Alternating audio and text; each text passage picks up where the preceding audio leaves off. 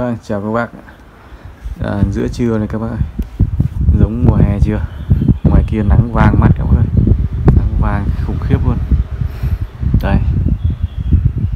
Vừa mới sáng rất là rét mà bây giờ nắng khủng khiếp luôn. Thì làm cây à, dáng làng mới các bác nhé. Để cho nó dịu bớt đi cái nắng này tí. Hôm qua đất cát nó còn ướt nhẹp à, mưa này các bác ạ. Thì tôi à, tôi chia sẻ với các bác cái cây giáng làng tôi rất là tâm đắc. Rất là tâm đắc cái cây này. À, ở cái điểm gì? Thứ nhất là cái cây giáng làng à, rất là mạch lạc rất là mạch lạc. Và nó có cái điểm nhấn là cái cái tổng thể là chân bệ có chân bệ có rất đều. Đấy và cái thứ hai là bóng rộng bóng rất rộng. Cái chậu này là cái chậu à, 3550 nhá các bác nhé 3550 và chiều cao đến ờ, đỉnh tán này nó nó nó là 25 phân. Và chiều ờ, rộng của tán này nó những ờ, khoảng khoảng 55 cơ. Đấy, nhịp chấm chỗ này là khoảng 55 cơ. Đấy là một cái dáng làng rất rộng và, mà mạch lạc ở cái chỗ là đây. Nó có một đường chạy thân từ bên này, tán này, vắt sang vắt lên nó vắt xuống đây. Nó làm một cái điểm rất là lạ cho một cái cây giáng lạc. Đấy, tất nhiên nó hơi non đấy, hơi non đúng không nhưng mà đối với cây mini á bóng dáng như này thì nó sẽ tổng thể là nó là một cây rất đẹp. Còn già thì vấn đề thời gian thôi. Nhưng mà phôi ta nên chơi cây già. Đấy, các bác nhé. Nó đã đầy đủ này, và tất nhiên nó không quá non. Mặt sau đây, rất là đẹp. Rất là đẹp.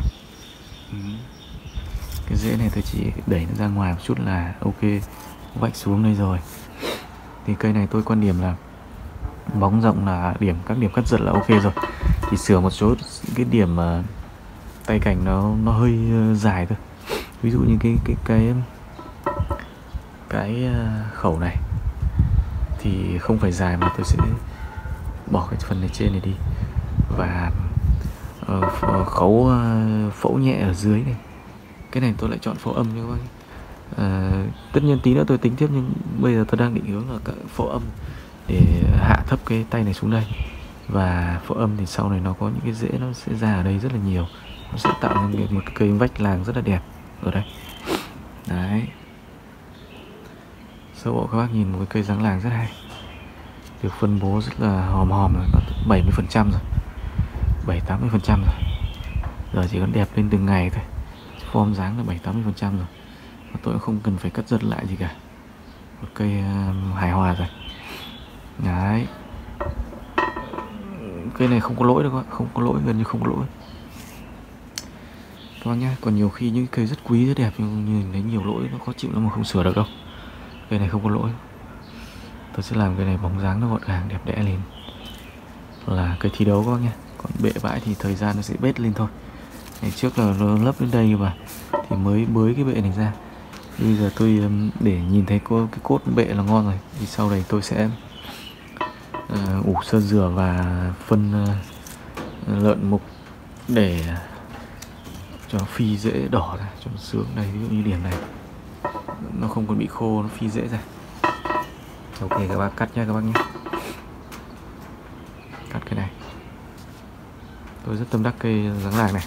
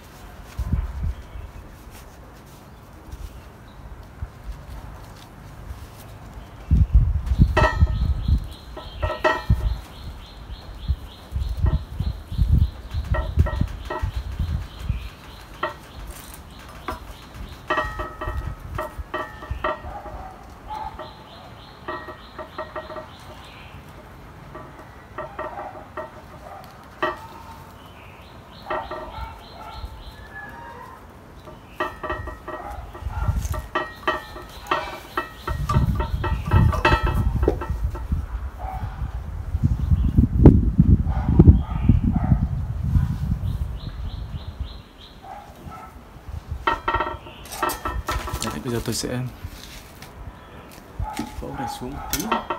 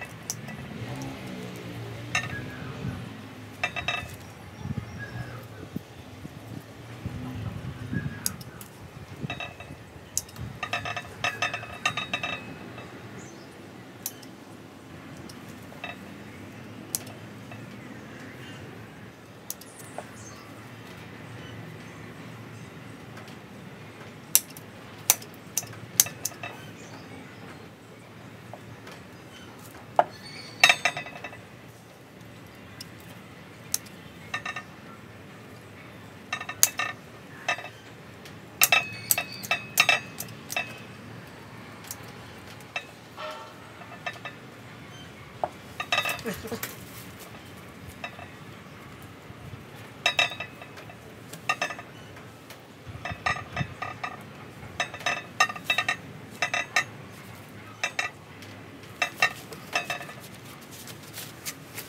các bác ơi, các bác nhìn rõ hơn chưa? Thì mấy cái điểm em nói đều à, thực hiện à, được đúng ý đồ và thực hiện xong thì thấy đều là ưng ý cả các bác ví dụ điểm phẫu này, xuống được một chút rồi. Và chỉ cần như vậy thôi đấy, bấm lại những cái đầu này. Tất nhiên sau cái lần này sẽ bấm lại một lần nữa có như gì định hình thôi. Ví dụ như cái này, sau sẽ bỏ đi ít nhất đến đây.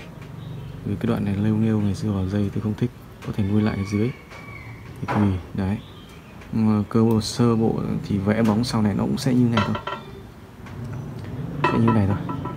Đấy. Đẩy cái rễ này ra ngoài. Trước ờ, người ta chính là trước hình như người ta cái rễ này người ta vắt vào thấy có cái vết đây. Tôi thích nó ra ngoài này kìa đấy. đấy hoặc có thể bỏ đi dễ cũng được.